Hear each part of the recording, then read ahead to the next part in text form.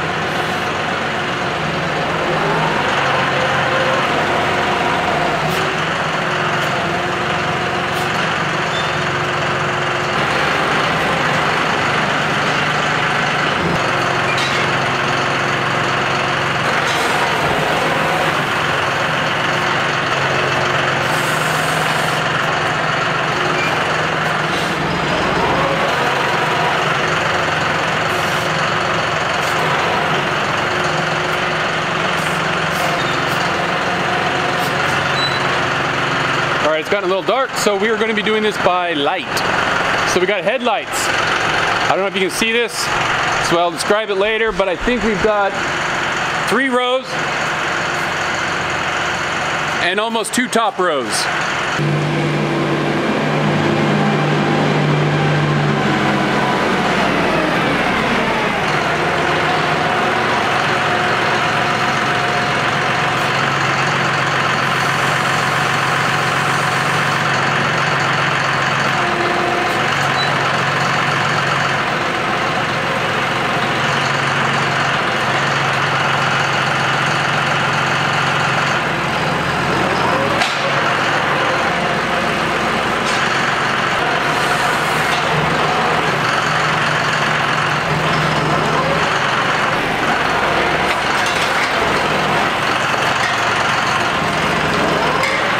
Wow, this okay?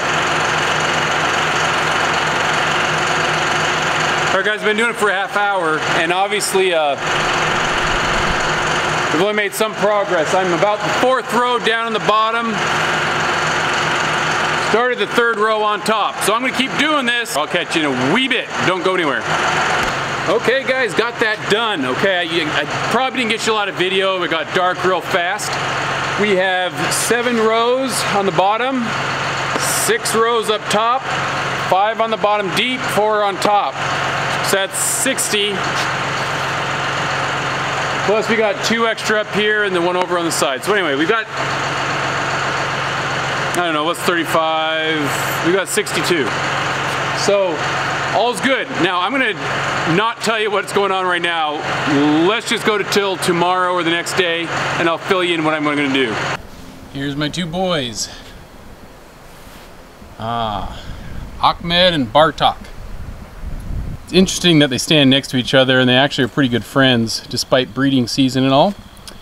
And of course that's now expired. We're beyond that. And it's just a matter of getting all these little babies that are all dark brown. You can still see a little few brown light ones way in the distance. But it's just getting all these little guys grown up so we can work them and sell them. But uh, Ahmed, you big stud, you're pretty. What am I doing now? As you can see, this hay barn is full.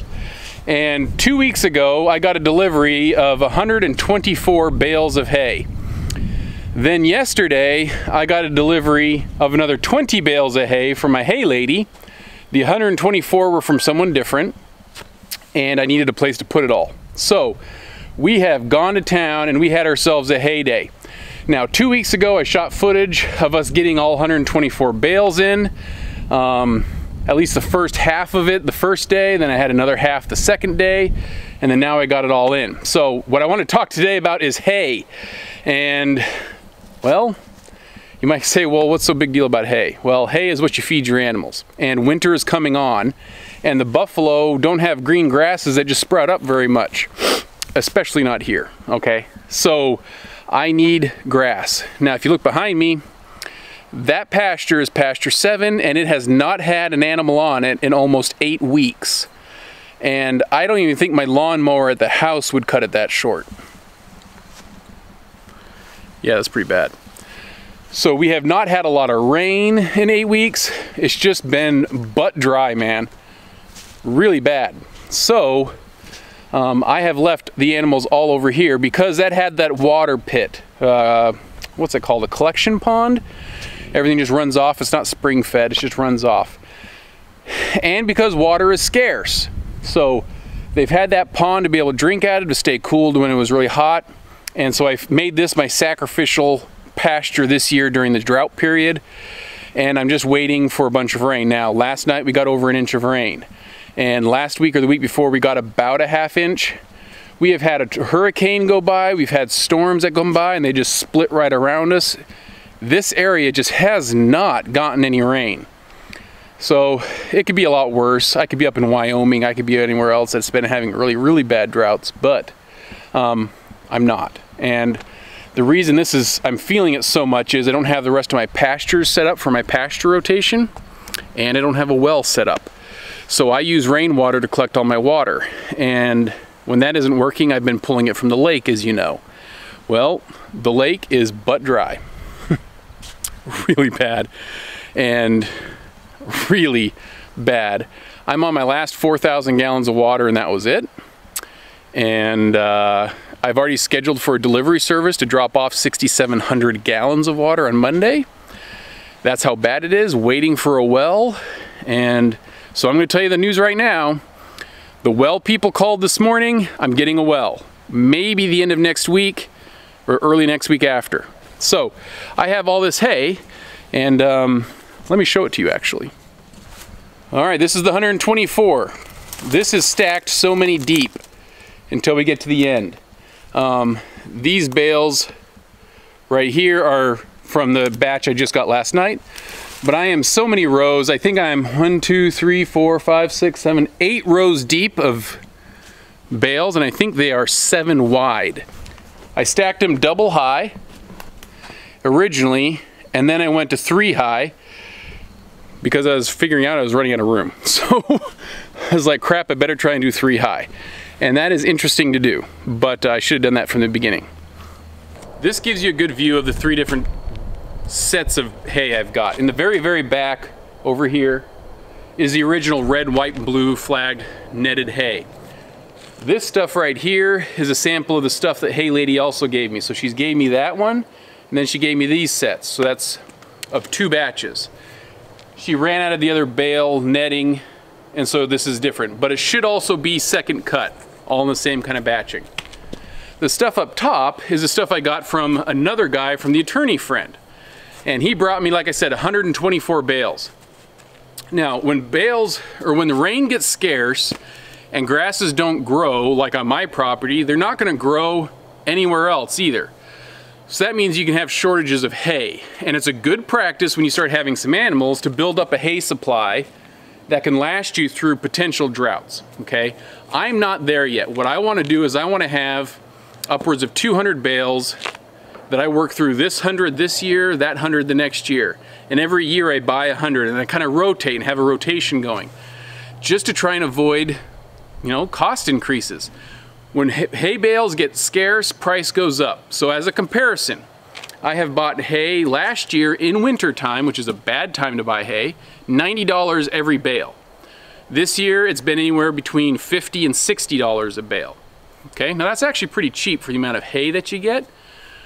But when it gets scarce, you could be getting $150 a bale. I've heard of $200 a bale.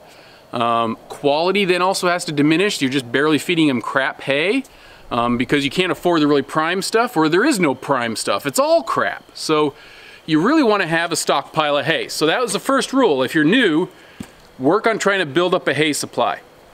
Right now I'm not quite there. Most of this is just to last through the winter and I'm hoping I don't have any problems as I start spring before first cut comes. Remember, first cut's gonna be in spring maybe April, March around here is too early. April, probably May. Then you'll get a second cut, hopefully six to eight weeks later, and then possibly a third cut six to eight weeks after that, depending on grass growth, rain, and so forth. So after that, between now and until like March, nobody's cutting hay. Like generally, it's just not happening. So you get what you get while you can, and then after that, you pray you don't need it, because otherwise you're paying through the roof. All right, now animals need so much food to survive, okay? And they need different types of food and certain qualities. Hay, um, I'm not gonna go into all the specifics of hay right now because I think that deserves more of a discussion later on about how you do the nutritional analysis. The point that I wanna get at now is um, you wanna understand the difference between first cuts and second cut of hay. One is more protein enriched and has more stuff than the other. It has different quantities and qualities and other things like this. Um, but then you kind of want to know what's in your hay. Thanks, Chica. Um, hay can be nutritious or it can be sucky, all right? And I'm not experienced enough to look at it and say, hey, this is what I got, okay? Um, based on the nutrition levels of what your hay is producing, the dry matter percent, um, protein, things of that nature, can affect what other supplements you might need to feed your animals to make sure that they stay healthy. All right.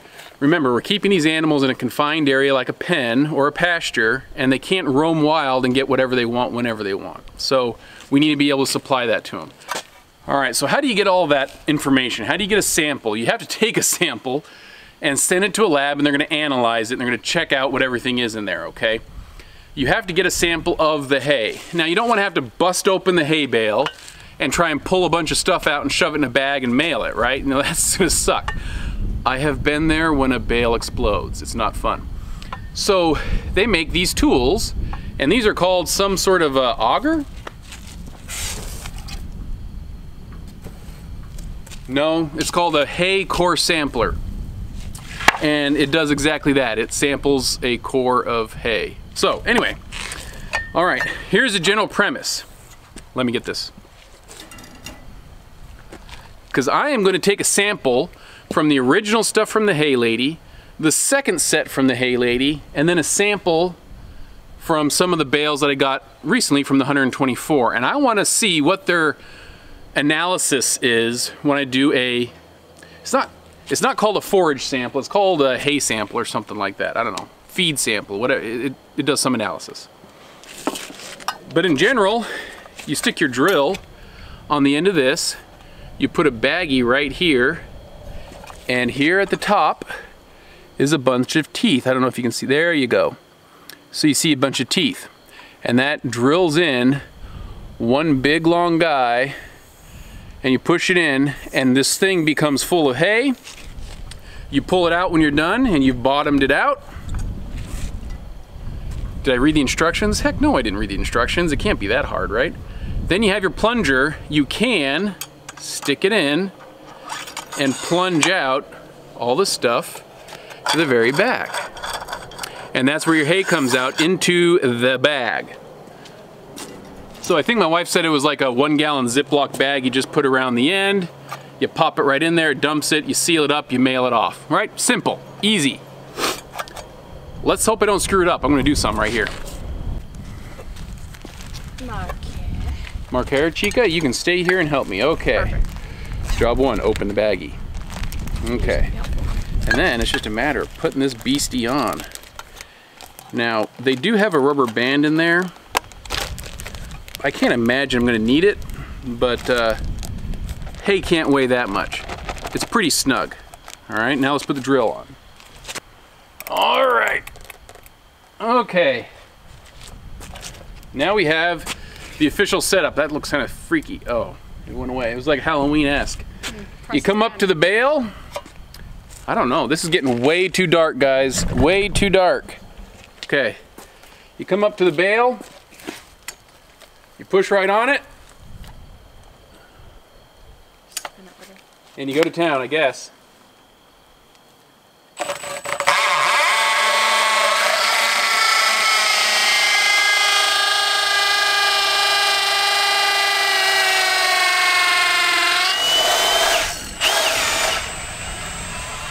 Were we supposed to get hay from that? Ooh, feels warm, baby. Look at that right there at the tip. You can see it. All right, let's plunger it. Chica, come over here and plunger it. How do I shove it in there? Just shove it in there gently. Gently.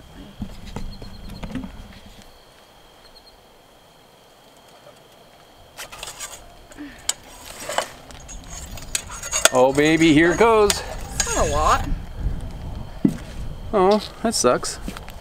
That's all we got. All your hard work.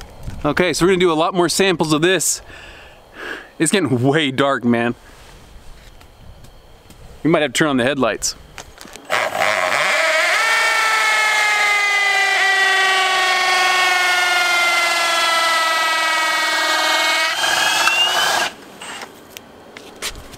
Look at this little hole.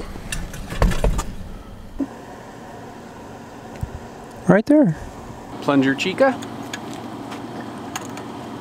That's hot. It's a wee bit warm. There it goes. Okay, I'm gonna do this to a couple more and I'll be right back.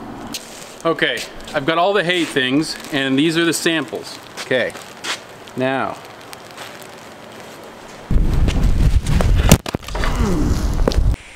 These nutter bars are amazing. So, camera broke.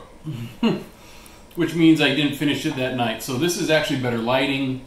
It's not so dark, the camera can focus. So this is the point. I went through and I got samples. in the bag, I got about four bales per bag. And I went through like those three groups. Like I said, the 124, the original batch from Hay Lady, and the second batch from Hay Lady. And so I have them here. This is the first original 124.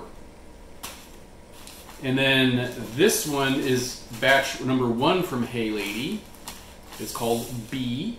And then group C is that other second batch from Hay Lady. This is the first one from Hay Lady. This is the second one from Hay Lady. So if you look at this one, it looks more green still in it compared to this one. This is the 124. So when I look at this one, I'm trying to get rid of the glare for you. This looks greener, better than this one, but this one still looks greener in some ways than this one. Okay, so my guess is that these were still cut in the same batch from Hay Lady. It may just be that this one was exposed at my ranch longer, so it sucks more, and this one was more protected. I don't know. Um, but these, I would assume, is probably not as good a quality of hay as these. So I'm going to take these samples, I'm going to send them off for an analysis, and they're going to get me back a bunch of information that'll kind of state which one is good, what it's good in. Um, have a bunch of data. I'm going to cover that later in some other video. Um, I'm not sure how long it's going to take to get the results back, and frankly, this has already been spread out over two weeks, as you can tell. Um, so we're going to worry about that later. But I think the 124 is not going to be as good as the stuff I got from Hay Lady. And in fact, Hay Lady dropped by and I said, "Hey, did you see all the hay I got?" She goes, "Yeah, I did." You know, of course she's going to notice it. She's a sweet chick, man. I really like her. And um, I said, "So, is it as good a hay?" She goes, "No." I'm like freaking 200 yards from this thing. Anyway, she said you can see the different kind of grasses and coloring and other things like that, and she knows what she's doing and she knows what it looks like, and she said no. So we will see if that hay is not quite as good. So anyway, we're going to cut it off here. Thanks for joining us, and uh, I'll share those results in the future. Um, hopefully not too far out. Remember like and subscribe and keep with us, all right? See you later, guys. Bye.